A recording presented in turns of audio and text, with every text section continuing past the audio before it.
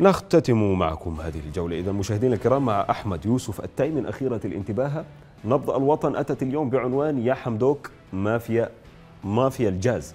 يبدأ التاي زاويته بالقول قرأت منذ شهر ونصف الشهر تصريحات رسمية أكثر من مرة تشير إلى اكتمال استعدادات الحكومة لإنجاح الموسم الزراعي الصيفي وأن أكثر من 80% من جاز الزراعة قد تم تأمينه تماما وكذا الأسمدة. أحق لي ولغيري الآن أن أتساءل.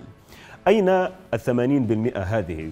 هل استلمها تجار الأواني المنزلية والسماسرة ومافيا الجاز قبل أن يسمع بها المزارعون كما كانوا يفعلون في عهد التيه والضلال والتزوير؟ هاتفني عدد من المزارعين ممن أثق في حديثهم وقد أقسموا لي أن جراراتهم متوقفة وكذا أعمال التحضير للموسم الزراعي الصيفي لعدم حصولهم على الجازولين الذي تقول الحكومة بتوفيره للمزارعين بنسبة تفوق الثمانين بالمئة من احتياجات الموسم. يتابع التاي المزارعون أنفسهم. أنفسهم. أكدوا لي أن براميل الجازولين الآن في محلية الدندر يباع في أو برميل الجاز يباع في السوق الأسود بمبلغ 15 ألف جنيه في حين أن سعره الرسمي 1200 جنيه للبرميل. وفي مناطق أخرى في المحلية مثل العزازة وصل سعر البرميل الواحد إلى 21 ألف جنيه. ولا أدري كم سعره في مناطق القضارف والدالي والمزموم التي تعاني من نفس من نفس الفوضى.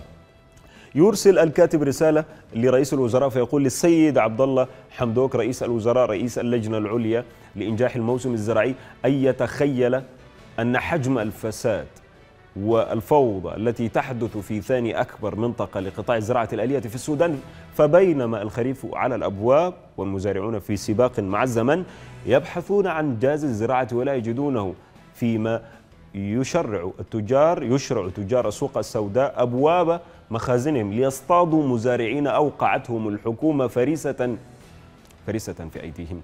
يتساءل الكاتب السؤال غير البريء الذي يضع الكل في فتيل على حد وصفه هو لماذا لماذا يتوفر هذا الجازولين الآن عند المافيا بينما ينعدم عند الحكومة والمزارعين؟ هل ترى الأمر مقصود أم هي مؤامرة على المنتج المحلي بقصد, بقصد تدمير الاقتصاد الوطني؟ أم هي مؤامرة ضد الوطن كله؟ أم هو تلاعب لأجل الثراء الحرام؟ يختتم التاي. يا رئيس الوزراء رئيس اللجنة العليا لإنجاح الموسم الزراعي لقد فاق الأمر حد الخيال ولا يمكن أن تكون الأوضاع بعد التغيير أسوأ من سابقتها. فبالله عليكم لا تقولوا بعد الآن سنعمل على تحفيز وحماية المنتج المحلي. ما دمتم لن تفعلوا شيئا. وحسبنا الله ونعم الوكيل.